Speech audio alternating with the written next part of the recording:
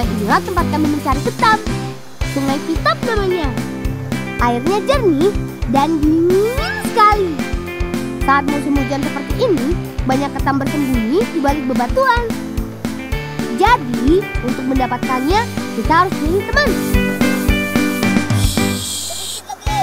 Tenang dan konsentrasi. Masukkan pelan-pelan benang ke sapit ketamnya. Lalu, tarik! Yeay! Berhasil! Lumayan besar juga ketam yang satu ini. Ayo semangat teman-teman, kalian juga harus mendapatkannya. Ketam atau yuyu adalah sejenis kepiting air tawar. Berbeda dengan kepiting laut yang sebesar kaki belakangnya berbentuk pipi, kaki ketam semuanya memiliki ujung lancip.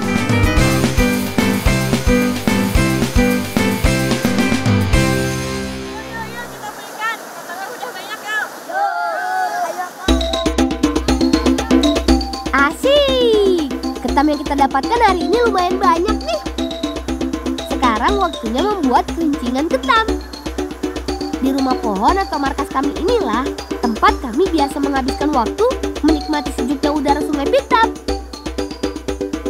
Tapi masih kurang hiasan nih. Biar tambah bagus, markas kami ini akan kami hias dengan kelincingan ketam.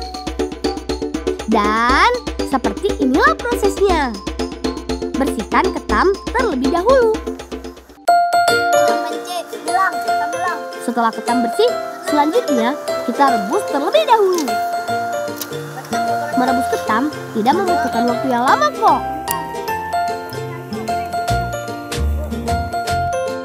Kak, mana bumbunya ternakan ke bawah? Eh, Wih, wih, wih. Praktis bukan? Bumbunya langsung turun dari langit.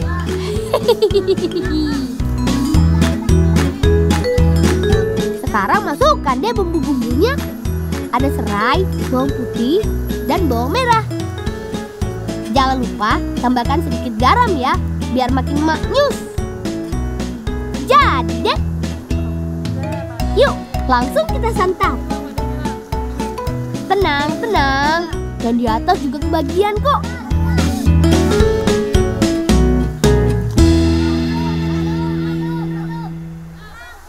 Ayo tarik. Saatnya makan. Hmm, nikmatnya. Walaupun tanpa bumbu penyedap, tapi tetap enak sekali kok. Rasa daging ketamnya gurih sekali dan ada sedikit rasa-rasa manisnya. Teman di rumah harus mencobanya. Dijamin ketagihan. Ayo makan teman-teman. Kita habiskan.